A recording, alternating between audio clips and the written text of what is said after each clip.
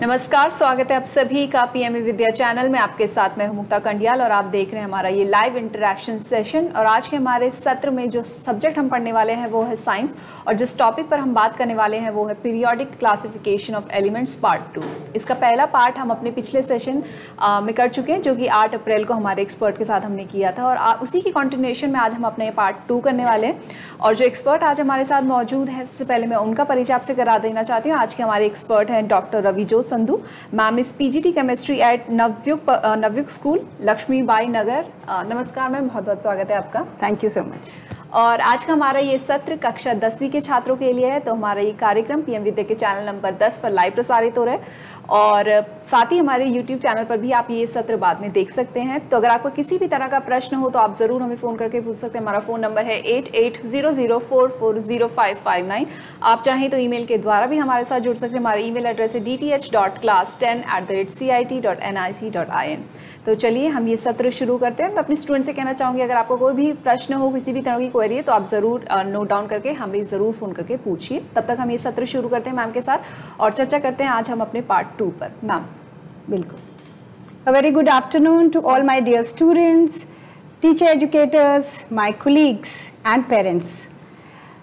मैं सबसे पहले अपना सेशन शुरू करने से पहले ये बताना चाहूँगी कि हम इस आधे घंटे में लर्निंग आउटकम्स कौन कौन सी अचीव करेंगे so the learner after this session he'll be able to draw conclusion such as properties of elements vary periodically along the groups and periods in periodic table takes initiative to know about scientific discoveries और भी इसके साथ साथ दो और learning uh, outcomes जो achieve हम कर पाएँगे वो है explains process and phenomena such as placement of elements in modern periodic table and exhibits creativity in designing models using eco friendly resources अब प्यारे दोस्तों पिछले टाइम जो है जब मैंने सेशन कवर किया तो एक फटाफट एक क्विक रिकैप्टलेशन हम लोग कर लेते हैं।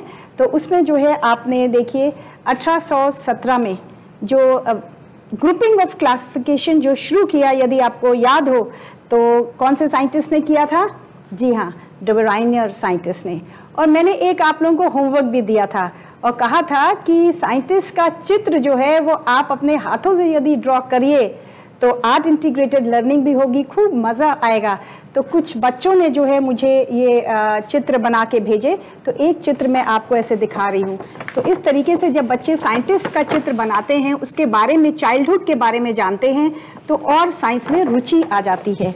और इसके बाद जो है एटीन में 1866 में क्या हुआ? जॉन न्यूलैंड ने कौन सा आ, आ, हमारे को क्लासिफिकेशन दिया था? लॉ ऑफ़ ऑक्टेव्स जी हाँ दोस्तों तो ये भी आप जो है फटाफट जो है अपनी मेमोरी में रिमाइंड कर लीजिए। और फिर आया दौर 1869 यहाँ पे जो फादर ऑफ़ पीरियोडिक टेबल माने गए हैं मेंडलीफ पीरियोडिक टेबल आया। और इन्होंने अरेंज किए थे किस हिसाब से एलिमेंट्स को? इन्होंने देखिए, एक दीवार बनाई। है मैं पिछले सत्र में बता चुकी हूँ, लेकिन फिर भी आपको एक क्विक रिकैप करवाना चाहूँगी ताकि आप फटाफट आपके बोर्ड एग्ज़ाम भी आ रहे हैं। सो उन्होंने अपने कमरे में एक दीवार बनाई थी लैब में और उसमें सारे एलिमेंट्स को, जो भी उस टाइम पे 63 एलिमेंट्स थे, उनको ऑक्सीजन और हाइड्रोजन के साथ रिएक्ट करा के जो ऑक्साइड्स बने और हाइड्राइड्स बने और उन हाइड्राइड्स और ऑक्साइड्स में ग्रुपिंग करी जो एक जैसे थे। तो जी हाँ दोस्तों बिरीलियम मैग्नीशियम को उन्होंने इकट्ठे क्यों रखा? क्योंकि दोनों एक तरीके से ऑक्साइड बनाते हैं और इस तरीके से कुछ उनकी दीवार बन के कंप्लीट हो गई थी। तो ये हमारा जो है मेंडलीफ का पीरियोडिक टेबल जो है that was based on the properties you can say the oxides properties of the oxides and hydrides formed right So this was the uh, wall. ये दीवार है तो इसलिए मैंने इस तरीके से खड़ा किया हुआ था। तो ताकि बच्चों को पता रहे कि हाँ दीवार पे जो है आप लोग भी अपने लैब के कोने में एक बना के जो है एलिमेंट्स को दिखा सकते हैं। और अब जो है इसको आप अगर डिफाइन करना चाहें मेंडलीव के पीरियोडिक लॉ को so what was it uh, we had done it uh, in the last session that the properties of the elements are the periodic function of their atomic masses right तो अब जो है यहाँ पे काफ़ी खामियाँ नज़र आई थी। और इसी वजह से काफ़ी साइंटिस्ट लगे हुए थे। खामियाँ क्या थी दोस्तों? पोजीशन ऑफ़ हाइड्रोजन जो है वो साइंटिस्ट ने कहा कि भाई ये तो हाइड्रोजन अल्कली मेटल जैसा भी है और उधर से हेलोजेंस के जैसा भी अपना दिखाता है रिएक्शंस तो उसको कैसे जस्टिफाई करें जो ये मेंडलीफ नहीं कर पाए? और कुछ एटॉमिक मासेस में भी आगे पीछे था। यदि आप यहाँ पे देखें तो यहाँ पे देखिए कोबाल्ट और निकल क्योंकि he said that he had arrange the elements in the order of increasing atomic masses so cobalt का जो है 58.93 निकल 58.71 और वो उसके पीछे आया था। तो कुछ इस तरीके से की एनोमलीज और एक आया था पोजिशन ऑफ़ आइसोटोप्स तो ये तीनों एनोमलीज को दोस्तों, जो है हैंडल करने के लिए साइंटिस्ट जो है तरह तरह के जो है, काम कर रहे थे और उसमें से जो उभर के आए, वो है 1913 में हेनरी मूसले उन्होंने काफ़ी और साइंटिस्ट के साथ काम किया और आपके सामने, जो दुनिया के सामने आया मॉडर्न पीरियोडिक लॉ जी हाँ तो जो मॉडर्न पीरियोडिक लॉ है, वो लॉ क्या है, वो डिफाइन आप करेंगे खुद बाद में, दोस्तों। और पहले हम समझ लेते हैं कि इन्होंने किया क्या। तो मैम इससे पहले कि हम ये जाने कि हेनरी मोजलॉ ने किया क्या, जैसे कि हमने पिछले सेशन में मेंटली पर आपने हमें डिटेल्स हमारे स्टूडेंट्स को बताया था, साथ ही आपने ये भी बताया था, उन्हें फादर ऑफ़ पीरियोडिक टेबल भी कहा जाता है। लेकिन मैम यहाँ पे एक प्रश्न ये उठता है कि उन्होंने एलिमेंट्स को इंक्रीजिंग एटॉमिक नंबर्स के उस ऑर्डर में क्यों नहीं अरेंज किया था? आपने थोड़ा सा सत्र को आगे बढ़ा दिया है। जो मेंडलीफ है, उन्होंने इंक्रीजिंग एटॉमिक मासेस भार के हिसाब से एलिमेंट्स को लगाया, क्योंकि उस टाइम ये जो काम हुआ था दैट हैपन इन 1869 और जो प्रोटॉन की डिस्कवरी है वो काफ़ी बाद में हुई। और ये जो काम हुआ है उन्नीस में जब एटॉमिक नंबर डिस्कवर हो चुके थे, हमारा प्रोटॉन की डिस्कवरी हो चुकी थी, तब साइंटिस्ट को लगा कि हाँ हम लोग जो है इसको क्यों ना एलिमेंट्स को जो है increasing order of atomic number के हिसाब से अगर लगाएँ तो शायद कुछ अनोमलीज जो हैं वो हैंडल हो सकती हैं तो सबसे पहले बच्चों, आपने क्या करना है आप हमारे, मेरे साथ साथ आज पीरियोडिक टेबल बनाना सीखेंगे। सो so, ये एक, मैंने एक एम पीरियोडिक टेबल बनाया है। आप यहाँ पे रुक के दो मिनट या तो इसका एक स्क्रीनशॉट ले लीजिए। नहीं तो मैं चाहूँगी कि आप अपने हाथ से जो है बनाएँगे। इट इज़ वेरी इजी कि आपने दो वर्टिकल लाइन बनानी है। बीच में यहाँ पे दस कॉलम्स आते हैं। उसकी जगह छोड़ देनी है क्योंकि दसवीं में ट्रांजिशन मेटल्स डिटेल में नहीं है। और यहाँ पे तेरह, चौदह, पंद्रह, सोलह, सत्रह अट्ठारह जैसे कि आप देख रहे हैं, मैंने नंबरिंग करी है। तो ये चिंता का विषय नहीं है कि यहाँ पे मैंने तीन से जो बारह तक जो है वो नंबरिंग नहीं करी है बिकॉज़ वो ट्रांजिशन मेटल्स के हैं। तो आपने यदि ये बना लिया है तो चलिए हम इसको देखते हैं कि कैसे फटाफट इसको फिलिंग कर सकते हैं। तो ये एक मैंने इस तरीके का पीरियोडिक टेबल जो है, वो मैं बना के लाई हूँ। और ख़ास मैंने ध्यान रखा है कि जो इंक्लूसिव टीचिंग क्लासरूम में जो मेरे टीचर एजुकेटर्स हैं, उनको मैं दरख्वास्त करूँगी कि थोड़ा सा ये मैंने उभरा हुआ बनाया है। और बच्चों, आप भी, आपके जो विजुअली इम्पेयर्ड दोस्त हैं, उनको भी बिल्कुल जो है इसके आउटलाइन टच करवाइए कि ये किस तरीके का जो है, ये नॉर्मल टेबल नहीं है रेक्टेंगल यहाँ पे थोड़ा सा, यहाँ पे इस तरीके से है, फिर यहाँ कटा हुआ है, देखिए। फिर यहाँ ये थोड़ा डीप है। तो when they will feel the outline वो भी जो है, भागीदारी महसूस करेंगे और वो भी इंजॉय करेंगे, विज्ञान सीखेंगे राइट तो ये हमारा जो है पीरियोडिक टेबल जैसे कि आप देख रहे हैं, मैंने इसको बिल्कुल खाली बनाया हुआ है और इससे बहुत इंटरेस्टिंग तरीके से जो है, इसमें इट्स वेरी सिंपल मैं सिर्फ़ नंबरिंग करने जा रही हूँ। देखिए, मैंने एक, दो कॉलम बनाए हैं तो इसको मैंने एक नंबर ऑलरेडी किया हुआ है हाइड्रोजन का मैंने लिख दिया है। यहाँ मैंने दो नंबरिंग करी हुई है राइट और यहाँ पे मैंने ये जो ऊपर आप देख रहे हैं, एक, दो, तीन, चार, पाँच, ये सारा जो है, ये मैंने ग्रुप के नंबर्स दिए हुए हैं। अब मैं इस ईच बॉक्स के अंदर, जो है, वो लिखने जा रही हूँ। वन टू लिखा हुआ है मैंने।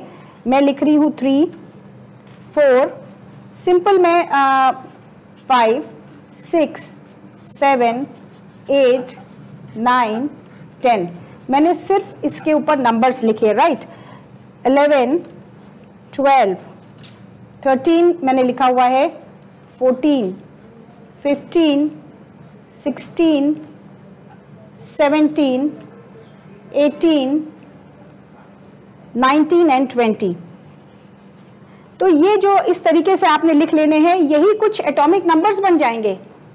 और देखिए आपको जो है इसके ऊपर बहुत आसानी से जो है हम आ, अब एलिमेंट्स के नाम रखते हैं। यहाँ पे हाइड्रोजन है तो जल्दी जल्दी हम लिख लेते हैं। यहाँ पे देखिए अगर सेकंड पे हमने लिखा हीलियम ये लिथियम बिरीलियम और ये अगर आप लिख लेंगे टाइम बचाने के लिए मैं लिखकर इस तरीके से लाई हूँ तो आपने ये इस तरीके से लिख लेना है। तो ये जो इसका एटॉमिक नंबर है अब आपके जहन में ख्याल आ रहा होगा कि ये एटॉमिक नंबर्स जो हैं वो कैसे याद किए जाएँ? बिल्कुल हम्म? तो ये एटॉमिक नंबर बच्चों बहुत ही एक आसान तरीका मैंने अपने टीचर दोस्तों के साथ शेयर करूँगी कि क्लास में बच्चों आप लोगों के रोल नंबर होते हैं। आपको याद है आपकी क्लास में क्या रोल नंबर हुआ करता था? मैम चूँकि मेरा नाम एम से अल्फ़ाबेट एम है तो आई थिंक मेरा ट्वेंटी इस पर ही रहता था मेरा रोल नंबर मिड नंबर ही होता था। ओके सो ट्वेंटी सो ये कह रही है इनका रोल नंबर ट्वेंटी था। तो मैंने क्या किया क्लास में जो रोल नंबर वन है उसको मैंने दे दिया एटॉमिक नंबर जो है हाइड्रोजन का एटॉमिक नंबर वन तो मैंने ये पैटर्न से जो है बच्चों को बोला roll number is equal to atomic number ये जो टेक्निक है तो मेरी क्लास का हर बच्चा, जो रोल नंबर वन जब मैं बोलती हूँ तो हाइड्रोजन बोलता है वो अपने आप को.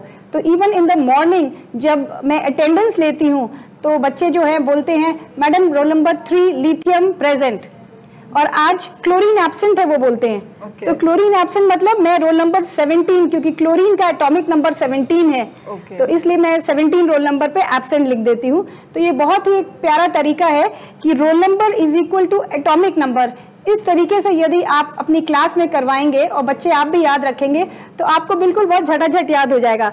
तो आपका जो है रोल नंबर चूँकि 20 रहा है तो आप कैल्शियम कहलाओगे। अगर आप मेरी क्लास में होते तो मैं आपको कैल्शियम बुलाती।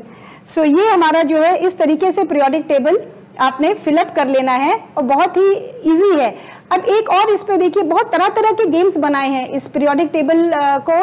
क्यों याद करना ज़रूरी है आ, कि आ, सारी जो हमारे एलिमेंट्स की जो आ, जो एलिमेंट्स के हमारे कंपाउंड्स होते हैं उनकी जो प्रॉपर्टीज़ हैं that somehow depends on the location कि कहाँ पे वो स्थित है। उससे पता चल जाता है कि वो मेटल है या वो नॉन मेटल है। वो किस तरीके का ऑक्साइड बनाएगा एसिडिक ऑक्साइड बनाएगा या बेसिक ऑक्साइड बनाएगा। तो जैसे जैसे हम थोड़ा सा मॉडर्न पीरियोडिक टेबल को आगे पढ़ेंगे वो आपको जानकारी आ, मैं दे दूँगी। तो एक बहुत प्यारा सा गेम जो है वो हमारी हैंडबुक एनसीईआरटी की है उसमें भी आया है। तो ये मैं आप लोगों के साथ शेयर करना चाहूँगी। ये देखिए हमारा है। पीरियोडिक टेबल ऐसे अगेन एक एम्प्टी पीरियोडिक टेबल बना हुआ है। ठीक है? और ऐसे स्ट्रिप्स बना ली हैं। ये स्ट्रिप्स जो है, ये आपने पीरियोडिक टेबल दो टीम बना लो क्लास में। और ये बच्चे सब अपना मेरी क्लास में उन्होंने बनाया हुआ है खुद। और इन्होंने स्ट्रिप्स बना के देखे, ये इस तरीके से थोड़ा सा करके, ताकि बच्चों को लाइन वाइज ना रखा हो। और कंपटीशन सा करा दीजिए कि कौन सी टीम जो है, फटाफट इसको फिलअप करती है। ठीक है? तो चलिए हम कोशिश करते हैं। यहाँ पे आ, मैं खुद ही देखिए एक टीचर होने के नाते आ, किस तरीके से आ, मैं कर पाऊँगी कितनी जल्दी आप देखिए। यहाँ ये हाइड्रोजन का पहला हो जाएगा ब्रिलियम सेकेंड है। कहीं आप लोगों को पता चल रहा है मैं किस तरीके से कर रही हूँ? ये नाइट्रोजन ऑक्सीजन इधर जाएगा। ये कार्बन फैमिली है तो ये बोरॉन के बगल में आ जाएगी। ये स्कैंडियम फैमिली टाइटेनियम फैमिली ये वेनेडियम फैमिली है। फ्लोरीन फैमिली यहाँ चली जाएगी, ये हैलोजेंस हैं।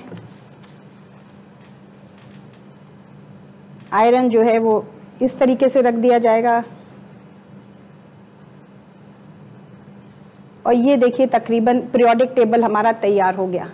अब दसवीं कक्षा में आपको बिल्कुल चिंता नहीं करनी है कि आपको यहाँ पे आ, सारे एलिमेंट्स याद करने हैं। बट फिर भी ये दसवीं क्लास के मेरे बच्चे बहुत इंटरेस्टिंग तरीके से खेलते हैं और खेल खेल में ही वो तीस तक तो यूँ ही याद कर लेते हैं एलिमेंट्स राइट तो ये आ, इसका जो हम लोग ने नाम रखा है गेम का वो है place me where I belong my home तो आप लोग भी आशा है कि आप लोग ज़रूर ये गेम खेलेंगे बढ़ चढ़ कर राइट सो यहाँ पे मैं कुछ दिखाना चाहूँगी। ये देखिए, ये मेरे बच्चों ने पीरियोडिक टेबल बनाया और उनको जो भी हम कोई दो ग्रुप बोल देते हैं, वो उसके जो है वो कैप्शंस बना के ले आते हैं बॉटल के ढक्कन में कई बना के ले आते हैं, उस तरीके से और वो जो है जो भी हम लोग बोलते हैं कि भाई आप ग्रुप नाइन एंड ये वाला आप इसको फिल करिए। तो तरह तरह के बच्चे जो हैं, मैं ये इसलिए दिखा रही हूँ कि बच्चे जो है, ये बच्चों ने ही खुद किया हुआ है। After playing this game which I just showed they just have so much fun and they all want to learn कि कौन सा एलिमेंट की प्लेसमेंट कहाँ है। तो ये देखिए, कुछ बच्चों द्वारा किया हुआ हमारा काम है। ये मनीष है टेंथ ए का, उसने किया हुआ है। तो आप लोग भी अपने जो है बच्चे, आप लोग भी खुद अपना पीरियोडिक टेबल बनाएँ। उसकी हर एक एलिमेंट की पोजीशन जानें, ताकि हम लोग को जो है ट्रेंड्स इन पीरियोडिक टेबल को रटना ना पड़े। बहुत आसानी से आप खुद बता पाएँगे। तो थोड़ा सा आगे बढ़ते हैं हम लोग। अब ये जो हमने पीरियोडिक टेबल बनाया, यहाँ पे, ये जो पीरियोडिक टेबल हमने बनाया, इसका मैं फ़र्स्ट ग्रुप ले रही हूँ। I am just picking up the first group right and I am keeping all this aside okay तो ये हमारा है फ़र्स्ट ग्रुप फ़र्स्ट ग्रुप के एलिमेंट्स कौन कौन से आप यदि बताएँ मुझे तो। हाइड्रोजन यस लिथियम ओके आपको पता है आप साइंस स्टूडेंट थे. Good that's very nice hydrogen lithium this is an a sodium sodium potassium rubidium caesium francium okay दसवीं क्लास के बच्चों को सारा नहीं याद करना है. तो अब हम थोड़ा सा डिस्कस करेंगे प्रॉपर्टीज़ के ट्रेंड्स कैसे बदलते हैं. और ये जो है आपके सामने मैंने रखा है ग्रुप वन के चार elements that is hydrogen lithium sodium and potassium right अब हाँ एक बात मैं आपको और बताना जो है बच्चों को ध्यान आकर्षित कर दूँ कि हमारे पीरियोडिक टेबल में ये जो हमने रखे हैं these are called groups so in total there are 18 groups okay there are 18 groups and there are seven periods so जो वर्टिकल कॉलम्स हैं यहाँ पे इसका फ़र्स्ट वाला रख दो। तो जो हमारा ये 18 कॉलम्स हैं हम लोग के। ये 18 columns there are 18 columns. So these are the groups and seven periods हैं, horizontal, right? तो ये हमारा हो गया मॉडर्न पीरियोडिक टेबल अब थोड़ा सा हम लोग इन डेप्थ समझे, समझते हैं कि हाइड्रोजन का इलेक्ट्रॉनिक कॉन्फ़िगरेशन क्या है। हाइड्रोजन में कितने इलेक्ट्रॉन्स होंगे? इसका एटॉमिक नंबर था कितना था बच्चों? इलेक्ट्रॉनिक इसका जो है कॉन्फ़िगरेशन होगा के शेल में वन इलेक्ट्रॉन राइट? सो इसको जो है थोड़ा सा और इंटरेस्टिंग बना लें। हम शेल को ऐसे रिप्रेजेंट करते हैं। इस आ, आप देखिए एक तो इको फ्रेंडली मटेरियल्स लीजिए, आप जो है वो घास से अपना जो है वो पिरो सकते हैं, आप अपना न्यूज़पेपर से जो है इस तरीके से कोई रिंग बना सकते हैं, घर में कोई चूड़ी रखी हुई है जो इस्तेमाल नहीं होती, उसका इस्तेमाल करिए और आप एक रिंग बनाइए। हम लोग सेंटर में रखते हैं पॉजिटिव के लिए एक बना लेते हैं। न्यूक्लियस का चिन्ह, जहाँ पे ये दर्शा रहे हैं कि यहाँ पे न्यूट्रॉन्स हैं प्रोटॉन्स हैं this is the centre and this is the first shell K so K shell में कितने इलेक्ट्रॉन्स जाएँगे हाइड्रोजन के? एक इलेक्ट्रॉन जाएगा। तो आप कोई भी जो है मिट्टी से आप गोला बना के क्ले का बना के क्रम्पल्ड न्यूज़पेपर से बना के आप ये हाइड्रोजन का जो है इलेक्ट्रॉनिक कॉन्फ़िगरेशन यहाँ पे आप देख रहे हैं और ये हो गया है वन इसको हम लिखित रूप में लिखेंगे तो इस तरीके से लिख देंगे हाइड्रोजन का। Right right? अब लिथियम में हम आगे बढ़ते हैं। अब लिथियम में क्या होगा? लिथियम का एटॉमिक नंबर इज़ थ्री तो तीन इलेक्ट्रॉन्स रखने हैं। सो आप लोगों को पता है कि पहले शेल में दो इलेक्ट्रॉन्स रख सकते हैं। अब बहुत ही देखिए कितना इंटरेस्टिंग है कि तीसरा इलेक्ट्रॉन कहाँ जाएगा? उसके लिए हमें एक शेल की ज़रूरत पड़ेगी। तो हमने आप इसका देखिएगा इसका साइज़ क्या है? अब जब हमने तीस, तीसरा इलेक्ट्रॉन रखने के लिए एक शेल ऐड कर दिया। और ये मैं बना रही हूँ लिथियम सो so, लिथियम का साइज़ बड़ा है या हाइड्रोजन का? लिथियम लिथियम और लिथियम का साइज़ क्यों बड़ा है? अब लिथियम को हमने दिखाया है इस तरीके से two one two means K shell में दो इलेक्ट्रॉन्स और एल शेल में one electron so why the size of lithium is bigger आप क्या कैसे आप इसको बोलेंगे? इसका साइज़ बड़ा क्यों हुआ? मास की वजह से मैम क्योंकि एक शेल जो है वो एक्स्ट्रा आ गया। हम्म। जो इलेक्ट्रॉन है वो एक आउटर मोस्ट शेल जो है वो यहाँ पे गया है राइट अब इसी तरीके से सोडियम में अगर हम करेंगे तो सोडियम का आएगा टू एट वन तो इसमें टू एट वन हम लोग लगाते हैं। आई होप स्क्रीन में कैप्चर हो रहा होगा। एल शेल में कितने इलेक्ट्रॉन्स आएँगे? आठ इलेक्ट्रॉन्स आएँगे। सो so, एक दो तीन चार पाँच। छ सात और आठ।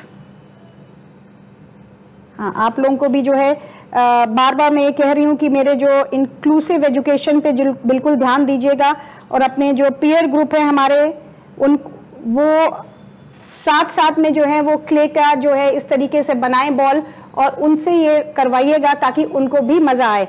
तो अभी हमने जो है two two and eight that means हमने दो इलेक्ट्रॉन्स यहाँ रख दिए आठ इलेक्ट्रॉन हमने रख दिए हैं एल शेल में। सो so, सोडियम में होते हैं कितने इलेक्ट्रॉन्स टोटल 11 इलेक्ट्रॉन्स तो हमको एक शेल और ऐड करना पड़ा देखिए। और हमें लास्ट इलेक्ट्रॉन गया इसमें। तो अब किसका साइज़ बड़ा हुआ? सोडियम का या लिथियम का? सोडियम अब सोडियम का साइज़ क्यों बड़ा हुआ? क्योंकि एक शेल जो है पूरा का पूरा एक शेल वो इंक्रीज हो गया है। तो कितनी आसानी से बच्चों आप खुद जो है इको फ्रेंडली मटेरियल से यूज़ करके आप इलेक्ट्रॉन्स जो है किस तरीके से ऐड हो रहे हैं नेक्स्ट शेल में उससे आप बता सकते हैं कि सोडियम का साइज़ क्यों इंक्रीज हो गया। So I hope you all have written and इसी तरीके से पोटेशियम का भी आप आगे बना सकते हैं। Right right? सो so, अब थोड़ा सा हम आगे बढ़ते हैं। और मुझे अब ये बताइए कि जिस तरीके से हमने अभी किया है कि हमारा जो सोडियम है उसका शेल्स जो हैं वो कितने शेल्स हो गए?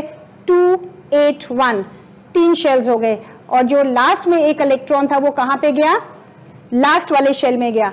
सो so, इसमें से हम लोग बहुत सारी प्रॉपर्टीज़ निकल कर आती हैं जो हम लोग का पीरियोडिक टेबल है। जो पीरियोडिक टेबल था हमारा इस पीरियोडिक टेबल पे अगर आप ध्यान दें यहाँ जो सोडियम है हमारा सोडियम कौन से पीरियड में है? It is in the third period so देखिए अगर आप इलेक्ट्रॉनिक कॉन्फ़िगरेशन को ध्यान में रखें ये इलेक्ट्रॉनिक कॉन्फ़िगरेशन है राइट right? सो so, हमारा जो सोडियम है टू एट वन कितने शेल्स दिख रहे हैं? One two three so three shells so ये थर्ड पीरियड में है। इतना इंटरेस्टिंग एंड लॉजिकल है ये पीरियोडिक टेबल लिथियम में कितने शेल्स हैं? One and two K shell and L shell how many shells are there two shells so lithium is in second period so जो हमारा इलेक्ट्रॉनिक कॉन्फ़िगरेशन है वो आपको लोकेशन बताने में भी पीरियड्स बताने में भी बहुत हेल्पफुल है। और एक और इंटरेस्टिंग कोई बात आपको नज़र अगर आ रही है कि ये जो आपका है हाइड्रोजन लिथियम सोडियम पोटेशियम। इसमें कुछ सिमिलैरिटी नज़र आ रही है क्या? कुछ सिमिलैरिटी हो जो इनके इलेक्ट्रॉनिक कॉन्फ़िगरेशन में आपको आ, दिख रही है? कलर में नहीं कलर। कलर। तो मैंने जो है वो इंटरेस्टिंग बनाने के लिए इसको रेड स्ट्रिप लगा दी है। Colour is not the criteria है वी हैव टू वेन बड़ा अच्छा आपने इस तरीके से बीच में ऐसे बच्चे भी बोल देते हैं। तो पहले तो मैं आपको ये बता दूँ कि जो मैंने इलेक्ट्रॉन ये जो मैंने एटॉमिक स्ट्रक्चर आपके सामने बता, बनाया था with the help of clay that was only a visualisation वो एक आपको विजुअल दिखाने के लिए इलेक्ट्रॉन्स इतने छोटे होते हैं एटॉमिक रेडियस इतना छोटा होता है एटम्स का कि they are not visible by naked eye so आपको जो है ये जो हम स्ट्रक्चर्स दिखाते हैं कोई मिसकंसेप्शन नहीं होना चाहिए। अगेन एज uh, इन्होंने बोल दिया अचानक कलर सो कलर से हमको नहीं जानना है। ये तो मैंने स्ट्रिप ऐसे ही कलरफुल uh, करने के लिए लगा दी थी। इसमें जो सिमिलैरिटी है जो हम लोगों को केमिकल प्रॉपर्टीज़ जो है they depend on the valence electrons तो यदि आप देखिए यहाँ पे first period second period third period इस सब में क्या सिमिलैरिटी नज़र आ रही है? इसमें देखिए। नंबर वन हाँ। हम्म। ये वन है। लास्ट जो इलेक्ट्रॉन एक है। यहाँ पे भी लास्ट में एक इलेक्ट्रॉन है। यहाँ पे भी लास्ट में एक इलेक्ट्रॉन है। और यहाँ पे भी लास्ट में एक इलेक्ट्रॉन है। जो मैं लास्ट में बोल रही हूँ that is known as valence shell so valence shell में that is valence shell is the outermost shell so outermost में जितने इलेक्ट्रॉन होंगे पहली बात तो वो उस ग्रुप को बिलोंग कर रहा होगा। यहाँ पे एक इलेक्ट्रॉन्स है। तो ये फ़र्स्ट ग्रुप में बिलोंग कर रहे हैं सारे। Lithium hydrogen lithium sodium potassium they all belong to group one so आप इलेक्ट्रॉनिक कॉन्फ़िगरेशन से आप क्या क्या पता लगा सकते हो? Valence electron will tell you about the number of group and number of shells will tell you about the number of period where it is located another thing, if electrons are similar, that is why they are having similar chemical properties. और अब आप मुझे बताइए, यदि मैं आपके सामने एक सवाल रखती हूँ कि एटॉमिक रेडियाई मेरे पास एक सवाल है। Study the variation in the atomic radii of first group elements यहाँ पे फ़र्स्ट ग्रुप एलिमेंट्स का फ़र्स्ट ग्रुप एलिमेंट्स का sodium lithium rubidium caesium potassium atomic radius दिया हुआ है पिकोमीटर में। 186, 152, 244, 262, 231 सो ये पिकोमीटर में है। पिकोमीटर इतना सूक्ष्म है। वन पिकोमीटर जो है that is equal to ten raise to power minus twelve metre so आप इमेजिन कर सकते हैं कितना एकदम बहुत ही सूक्ष्म है it is not visible by naked eye at all so can you arrange it in the increasing order increasing order मतलब सबसे छोटा कौन सा होगा इसमें से? क्या आप देख के बता सकते हैं?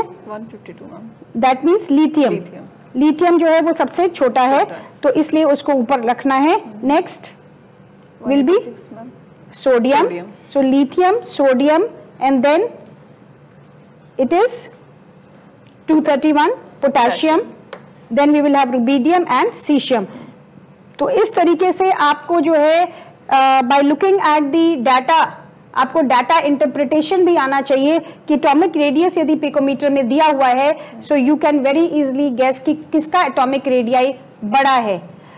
तो क्या आपको अगर हम पूछें कि which is the largest atom of these all which one is the largest so इसमें आपको कौन सा लार्जेस्ट नज़र आ रहा है? सीशियम नज़र आ रहा है। Okay okay. अब एक और इंटरेस्टिंग सवाल आ जाता है। ये पीरियोडिक टेबल से बहुत सारे क्वेश्चंस आंसर हो जाते हैं। जी हाँ आप कुछ बोल रहे थे? मैम मैं ये कह रही थी आपको हमारे सत्र में आखिरी के दो तीन मिनट हमारे पास हैं तो अगर जो भी हमारा आप कंटेंट हमारे स्टूडेंट्स के लिए आप बचा है वो फटाफट से हमारे स्टूडेंट्स को बता दें। बिल्कुल।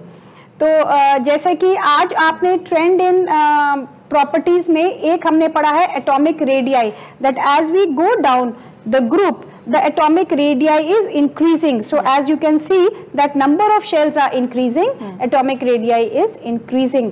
तो मैं आपके साथ जो है एक पहले तो एक सवाल के साथ जो है ये सत्र को फिनिश करते हैं ताकि जब नेक्स्ट टाइम हम मिलें तो उसका आप जवाब हमें देंगे ये जो है हमारा पीरियड्स में सारे एलिमेंट्स मैंने यहाँ दिखाए हुए हैं ठीक है ना so we have lithium beryllium boron carbon nitrogen oxygen fluorine neon और ये सब में जो है इलेक्ट्रॉन्स कैसे भरे जाएँगे?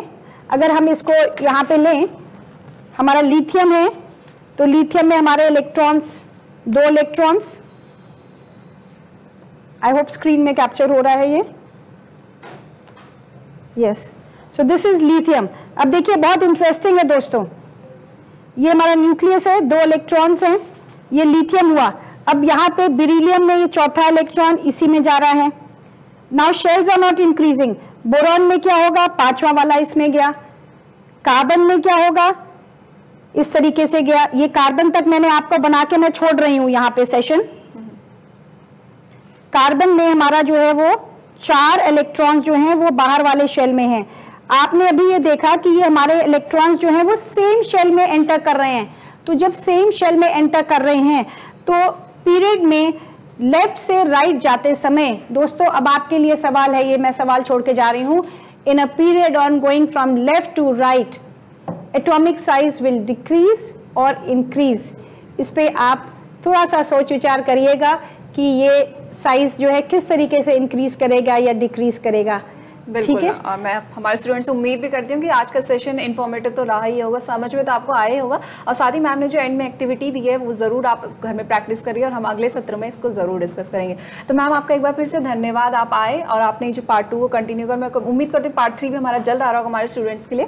तो आप आए यहाँ पर उसके लिए धन्यवाद मैम एक बार फिर से आपका। थैंक यू सो मच और हमारे दर्शकों हमारे स्टूडेंट से मैं यही कहना चाहूँगी कहीं मत जाइएगा हम जल्द हाजिर होंगे अपने एक नए सत्र के साथ। आप देखते रहिए पीएम विद्या चैनल नमस्कार।